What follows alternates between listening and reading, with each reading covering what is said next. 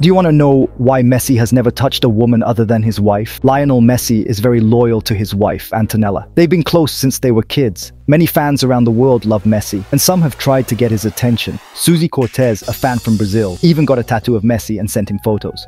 But Messi blocked her online to show he's dedicated to his wife. Messi is careful when taking photos with fans, often keeps his hands in his pockets to avoid misunderstandings. He does this so people don't spread false stories about him.